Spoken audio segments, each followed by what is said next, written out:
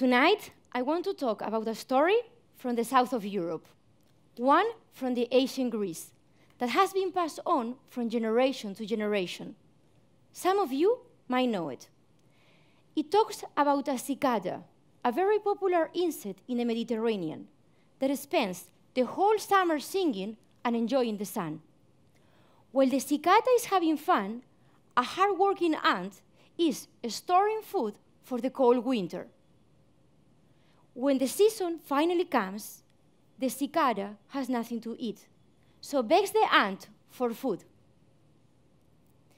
This story has been told for hundreds of years all over the world to teach about the power of hard work and planning ahead. However, in biology, nothing is as it seems. Cicadas are one of the insects that can live the longest.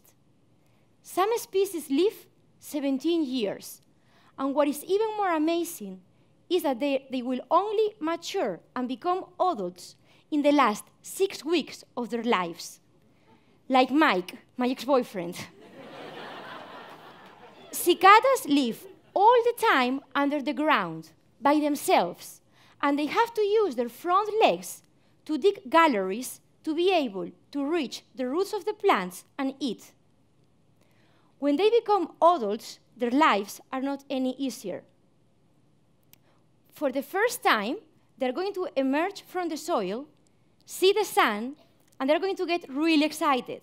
So they're going to start singing very loud just like Northern Europeans coming to Spain. and cicadas, they like challenge. Males sing to attract the females using their belly. And sometimes, because of the vibrations in their body, they explode. And being a female is not an easy task either.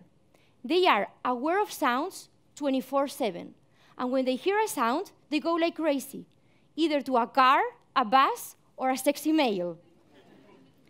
So I came here tonight to International FameLab as a biologist, and with all my respect to the Greeks, I want to suggest a change for the moral of this story.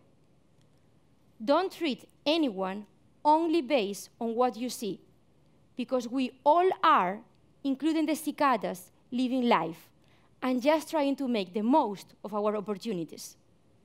Thank you.